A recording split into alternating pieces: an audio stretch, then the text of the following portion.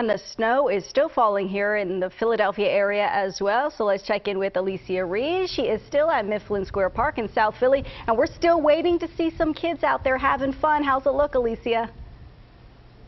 Hey Jan, still no kids, so we decided to take a walk. We're a little few blocks away from the park and we found some people working. People are out now digging out, but as you can see, although they're digging out, the snow is still coming down and so that means the layering is, is continuing and even throughout like all these blocks, you know, it's the snow, it's just there.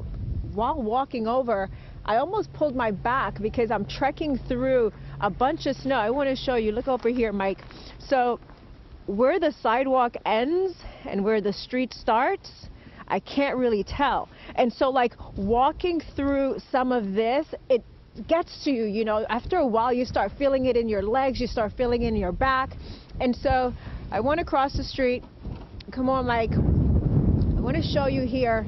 Look at the roadways right? Look at this car coming down the road.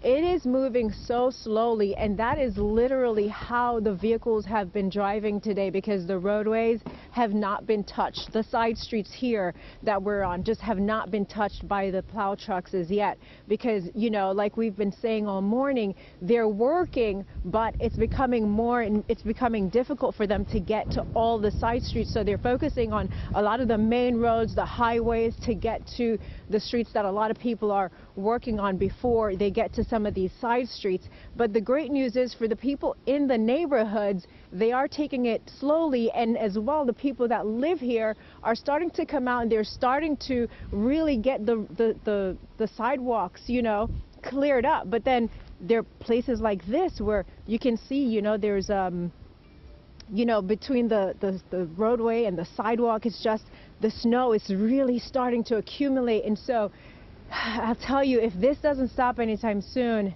I might have to, I might need some help because it's, it's getting harder and harder to move around. I sound like I haven't worked out in a long time, but you know, that's just because it's kind of difficult getting around now that we're in a location where the snow has actually accumulated. So, you know, by the time you talk to us again, I'm hoping we'll find some kids. I'm really on a mission right now to find some kids, Jan, but for now we're, you know, keeping our eyes on the roads and, and seeing thankfully a lot of cars are taking it slow, but at the same time, you know, there's just still so much work to be done. So if you're coming out, make sure to take it slow and just uh, be careful out there.